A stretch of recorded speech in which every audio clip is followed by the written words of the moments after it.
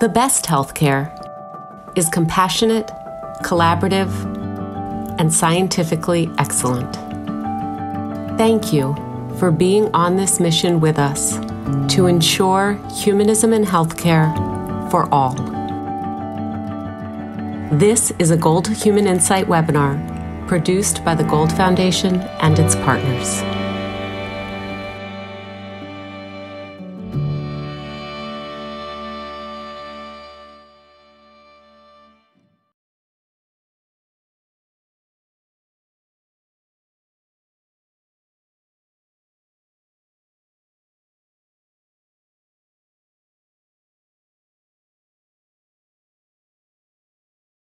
Good morning, everyone, and welcome. I'm Rich Levin, the president and CEO of the Arnold P. Gold Foundation. It's a pleasure to be here. This is a continuation of the pandemic interrupted partnership that we have had as organizations with Planetree uh, in promoting humanism uh, in healthcare and patient centered care, as you know. And this session this morning is a very interesting conversation between some uh, absolutely spectacular nursing leaders. Uh, Dr. Kellie Bryant is Assistant Dean of Clinical Affairs and Simulation and Associate Professor at the Helene Fuld School of Nursing at Columbia University. Yudith Correa is the Chief Operating Officer at Santa Rosa Community Health in California and is this year's recipient of the Becton Dickinson Gold Humanism in Community Health Innovator Award, a national competition for that. And Toni Land is uh, head of clinical healthcare experience at Medallia, which is a member of the Gold uh, Corporate Council. Toni will be our igniter for this morning's exciting conversation, and uh, let, let's get right to it. Toni. Thank you so much. So I'm excited to have this conversation today, and I think it piggybacks really nicely if you were in the opening session this morning and really talking about um, personomics, which that's the first time I'd heard that term, but I'll be doing a little research after. So I'm excited to lean in with these ladies and you to hear their story and the awesome work that they are doing to really transform and impact the communities that, that they're called to serve. So I'm going to start off um, just asking you ladies to tell the group a little bit about yourself and um, maybe start with the big picture even around the work that you're called to do. Yeah, good morning, Toni, and good morning, everyone. I'm so pleased to be here um, with Kellie, Toni, and the Gold Foundation. Uh, I, as uh, Richard mentioned, I am the uh, newest member of the executive team with Santa Rosa Community Health. I'm the chief operating officer, but I'm a nurse by trade. Uh, so I've been there uh, in the front lines with many of you uh, through this pandemic uh, and have dedicated over 20 years uh, in the community health center world. both started as a volunteer, as a youth, and then moved into the nursing world uh, and then into leadership, uh, and always with an eye on, on serving my community because I grew up uh, in uh, the Santa Rosa, which is Sonoma County, California, uh, community, and I was well aware of the challenges that many of our patients faced uh, because I faced many of those myself. And so my mission is to continue to give back uh, and now use some of the privilege that I've gathered, uh, you know, across the years to, to help those who are maybe in a situation where, where I was at. So yeah, that's a little bit about me. All right. And for me, um, I am a women's health nurse practitioner, and I just noticed as a nurse throughout my career, I always loved helping people that needed help the most, or that community that was always marginalized or stigmatized. So when I first started my career, I did a lot of work with pregnant teens, um, because when I was working in the hospital, nobody ever wanted to take care of them. And I worked with pregnant teens in foster care that had their babies taken away. Um, I've done some work with them. And then I also worked as a nurse practitioner in a practice where it was a very under-resourced uh, community, low socioeconomic level. Um, and I just realized I just enjoy you know, working with these populations. And so that comes to where I am today, where I'm working with people that have uh, substance use disorder. These are, again, marginalized people that are stigmatized. Society doesn't, you know, a lot of times want to provide care to them or think that they don't deserve care. Um, so most of my work right now is really going on the streets firsthand and helping this community and finding resources to help them because a lot of them face, you know, housing instability, food insecurity. Um, so I'm trying to find ways, even though I'm dealing with a small population, uh, I just feel like that's always what I wanted to do is give back to these communities. And I think part of it comes from myself growing up, uh, from a, uh, growing up as a, a, black woman in a white neighborhood and really facing a lot of, coming from a marginalized ethnic uh, community, um, racism and, and knowing what it feels like uh, to be not treated fairly. So I think that's the passion, that's what drives me to really do the work that I do now. Yeah, thanks both of you. And maybe Yudith, maybe you could share just a little bit. I heard Kellie, you kind of talk about your why and your passion for the work um, that you've been called to. Yudith, kind of what, what's that driving passion for you? Yeah, so I alluded to it a little bit in my opening, but uh, I came to the United States as an undocumented child uh, at the age of three. And I was actually undocumented for quite a bit of my life up until almost before nursing school, uh, so it's fresh in my mind. Uh, and even living in California in such a progressive area where uh, there were a lot more opportunities for folks who were in my situation, there were still a lot of challenges, including uh, you know, being told along the way that I wouldn't necessarily have uh, opportunities or amount to anything, uh, and that I shouldn't have aspirations to continue uh, my education. Uh, and so that just really, you know, has continued to drive me, uh, was a driving force to go into nursing and, you know, just charging forward regardless and, and always keeping in the back of my mind that every, everything was gonna work out, um, even if I didn't necessarily have a direct path. Uh, and so a lot of the, the patients, uh, the community who we serve, uh, at Santa Rosa Community Health, we, we have about 50,000 patients, and we have about 550 staff who we serve. Uh, and many of them, we're a federally qualified health center. Uh, many of them are from the community, and so our staff and our patients actually uh, are from the undocumented community. And so I think we forget that often, that especially in a federally qualified health center, a lot of the folks who come to us are from that community. And so that's, we're not just serving the, the patients, we're serving the staff and their journey. So now I know both of you have done lots of work in the community and really narrowed in on one focus for today. So um, tell, the, tell the group here um, maybe one specific body of work that you're focused on right now and um, what that looks like in the community and the outcomes that you're seeing as a result. Sure, I'll start.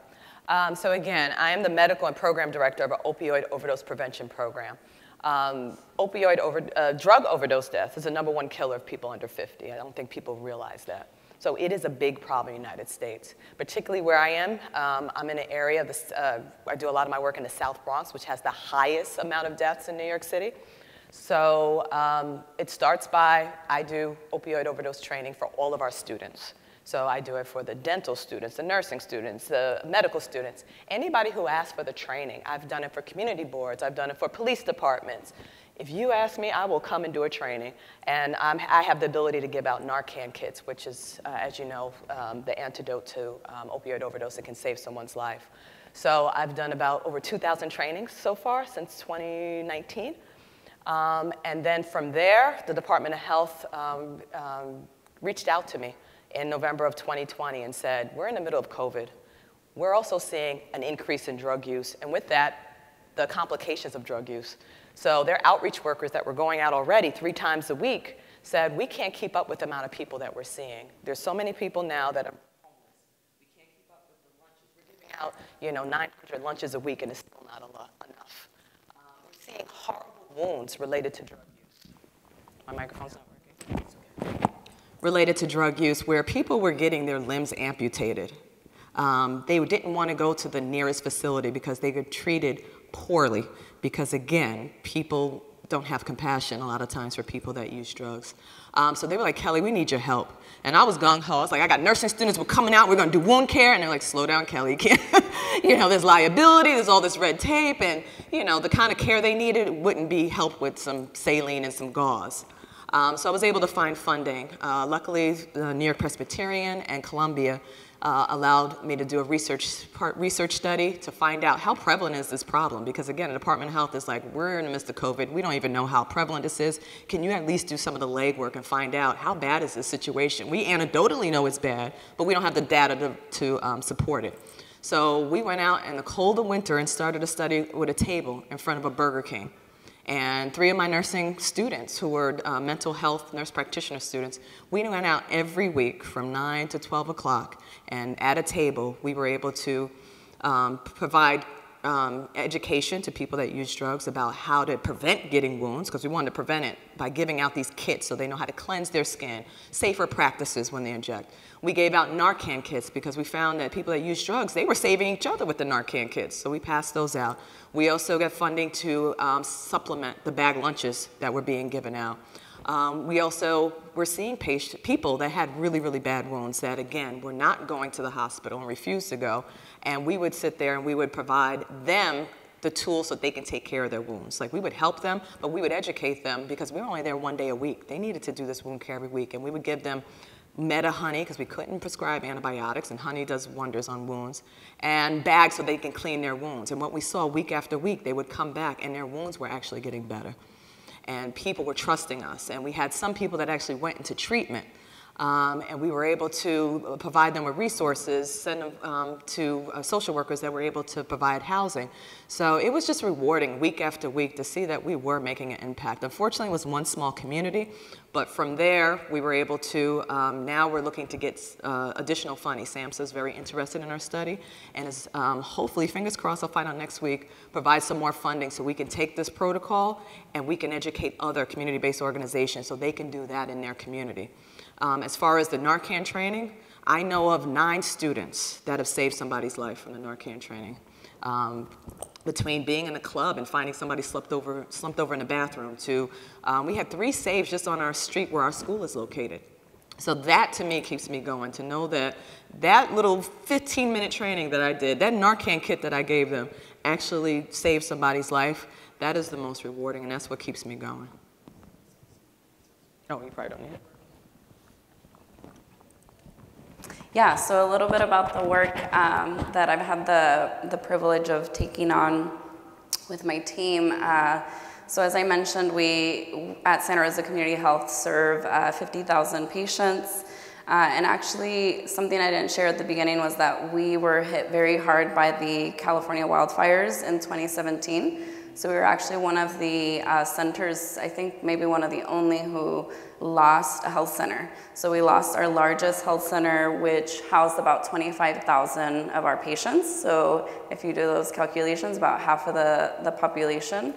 Uh, with that, and so 2017, uh, you know, fast forward to 2020 and the COVID pandemic, we had actually acquired what are called clinics in a can. Uh, and if you look, look it up, it's actually used in third world, world countries, and we use that along with leasing other space uh, to supplement the loss of all of the exam rooms, the space for our staff, and we had those stationed at one of our dental or at our dental clinic. And so that uh, set us up for some success with um, the body of work around COVID uh, testing. So I, along with uh, a physician leader and some of our other operational leaders, took on the task of setting up the testing site, which was open for uh, a centralized testing site, which was open for all of our patients and even for the community. We were the go-to for uh, the police department. So as they were seeing waves of the pandemic come through, we would open up the testing site for them. So it was something that was operated Monday through Friday, um, and, and on the weekends at times. And So we would use those, those clinics in a can either uh, for any of our special needs patients who maybe couldn't sit in what we set up uh, to be a drive-through.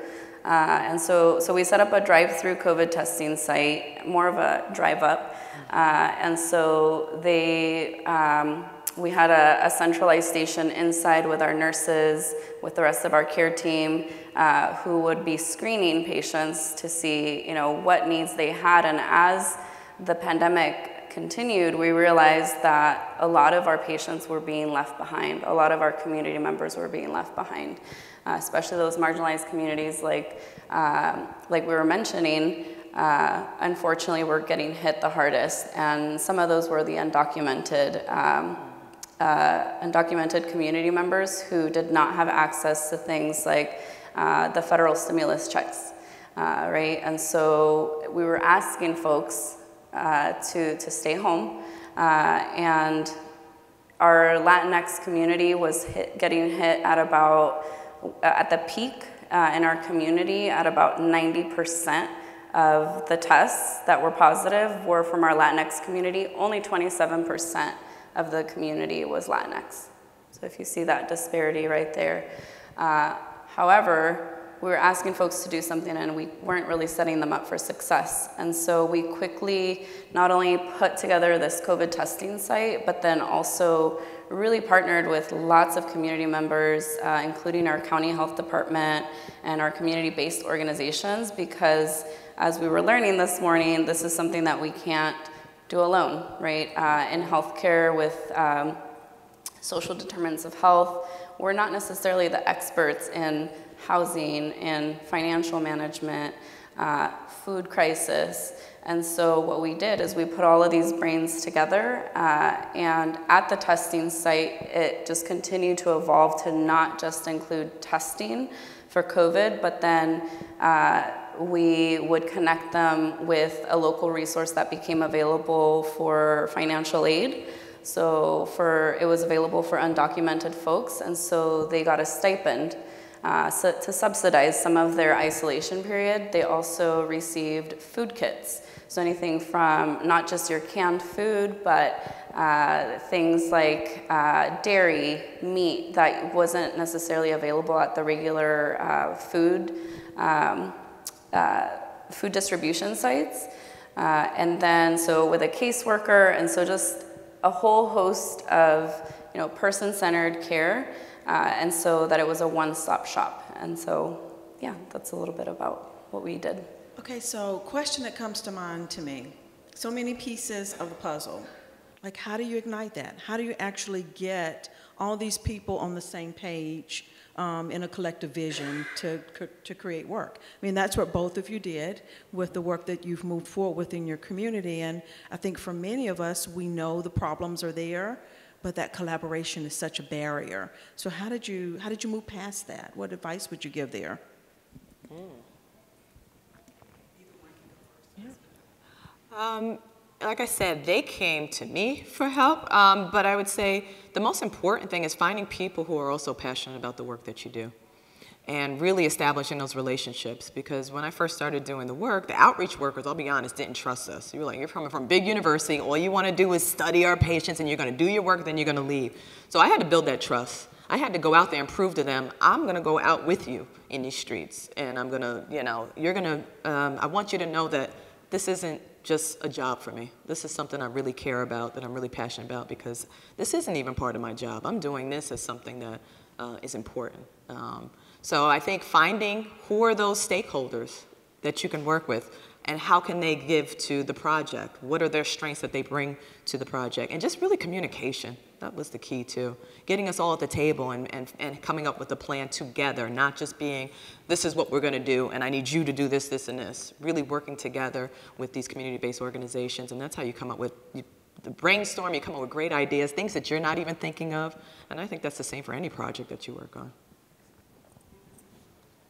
Yeah, so, so much of what you say echoes with what, with what we did, which was uh, engaging uh, community health workers uh, or promotoras or promotores uh, more officially because they've always, especially in community health, been the root of the work that we do. And in some ways, some of this work that we're describing goes back to those roots of, of medicine and community health. And so 100% had to build trust uh, with, with those, whether official or unofficial community health workers, um, especially the unofficial ones, because those are the ones that drive a lot of movement in the community. And so with this committee, with this county committee, we engaged the community-based organizations. And so those who weren't necessarily, you know, employed by healthcare, uh, especially were the ones that quickly spread the word and, you know, brought in folks and created that trust for us. Uh, and that was huge and moving. If you look at some of the numbers in Sonoma County, they started leveling off a little bit more um, with all of these intensive uh, efforts. Yeah, so trust, music to my ears. Those who know me or follow me on LinkedIn know I'm, I'm often talking about trust and truly trust and that relationship being foundational to improving outcomes for, you know, for patients, families, you know, and communities. Um, so let me just ask you guys, okay, you're doing this work. In the next one, three, five years, where do you see the work going? What do you think that looks like?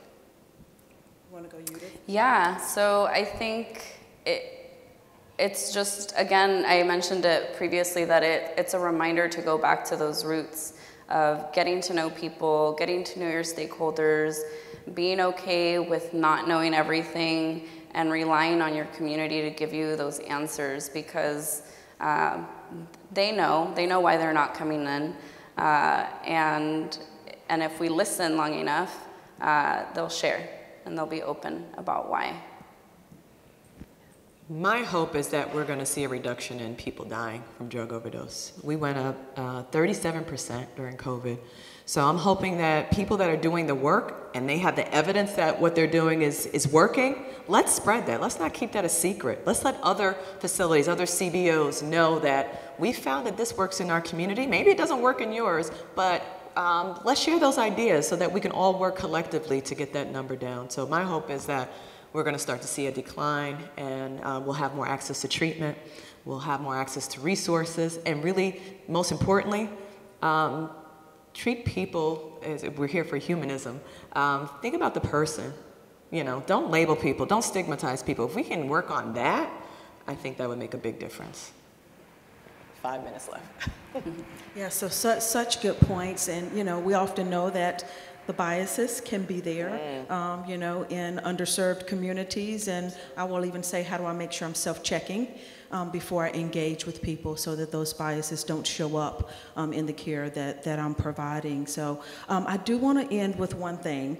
And so I, I, love the work that both of you are doing. I actually did some work myself. Um, I was a chief experience officer in Odessa, Texas, so right near El Paso. And so learned a lot about serving rural communities and how different that is um, than the urban environment. And had my own family members who have have died from from drug overdoses. So definitely understand both of those experiences and the stigmas that can go into providing care.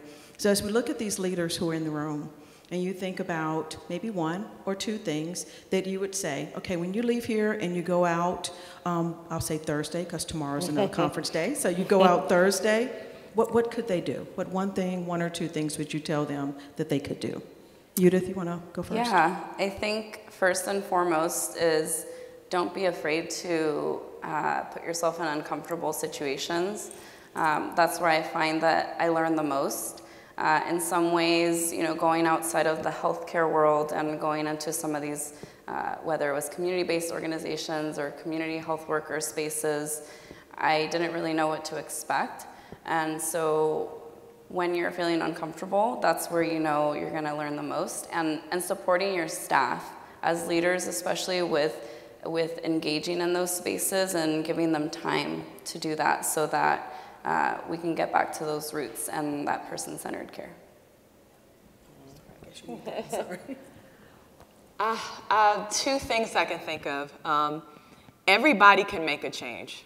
Everybody can, even a small thing. The smallest thing I can think of is in your community, see what it takes to get opioid overdose training. Almost every state has some kind of training where you can go through, could be five, could be 10 minutes and get a Narcan kit. Carrying that Narcan kit can save lives. Because every student that carried one, they didn't think they were going to use it that day, but they did. Um, and then the other thing I would say is just when we think about these populations, such as people that use drugs, people with uh, mental health illness, all these, again, stigmatized communities, let's show some compassion. That's the main thing, I think, you know, that they are people too. They are mothers, they are fathers, they could be our family members. A lot of them were my family members. So just that, don't isolate them.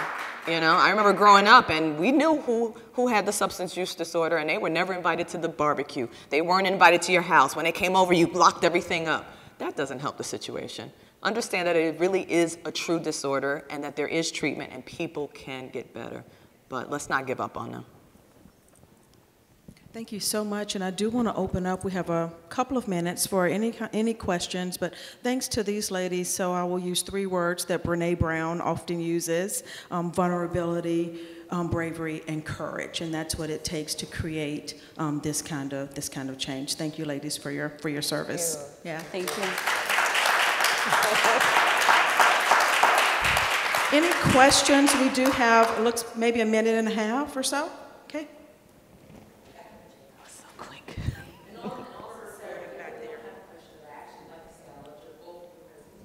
Everything you had to say, it hit home with us. We're from Far Rockaway, Queens in New York. Okay, you understand. Okay, and so the community that we serve, they can be um, very challenging at times. And yes, we, we recently took a course in, um, from New York City. They offered the um, course for the Narcan training, sent us the Narcan kit, so forth and so on. And as well, our director, she was that like a pet peeve in reference to the social determinant of health dealing with the health or the food disparities in our community. Unfortunately, what we're going through now is it seems that because there's such a high demand from everywhere, they don't have enough food now to even give to the people that actually need it. So that's a new up and coming concern. However, I want you both to know that, you know, we've, we both have those same concerns in our community and we're working hard with our patients, um, you know, definitely from a nursing aspect. And I really like what you were saying in reference to the wound care and how you address that in the community, especially because our patients, it's a lot of African Americans and they do not trust healthcare. They do not trust us and it's very difficult at times, but we continue to chip at it, you mm -hmm. know, and do what we can. So I really appreciate both what you had to say. It was very informative. Thank you so much. Thank, Thank you. you. Thank you. We'll take this one. Thanks. First of all, I'm a nurse as well, and I am so proud of what you guys just did in this presentation and also your work. And I think that it reminds me of when physicians were in the community and really connected to what the community needed.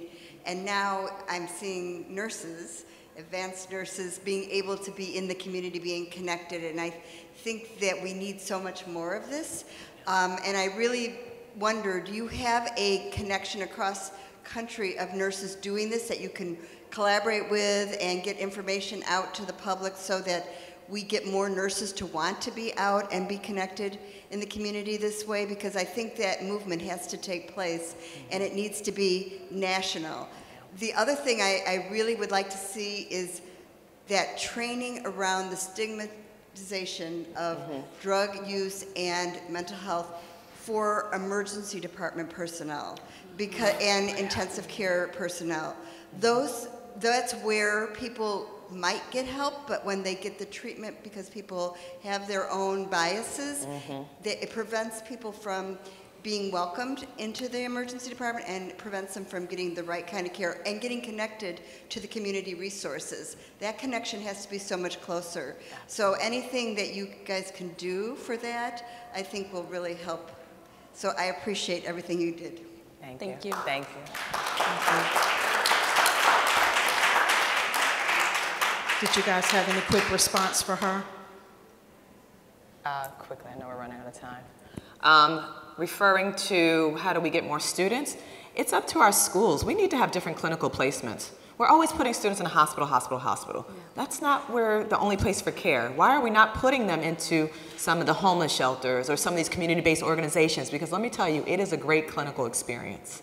And it helps to decrease that stigma, stigmatization that an implicit bias that we face when you're out there working with these individuals realize they're just like everybody else that unfortunately had something happen that ended them in this situation so that's the first place i would start is, is let's diversify where we're sending our students. The second thing is, yes, there are programs. We definitely need more implicit bias training among our healthcare workers, not just students, um, because think of somebody that comes in with an overdose. Do they really get a proper follow-up or referral?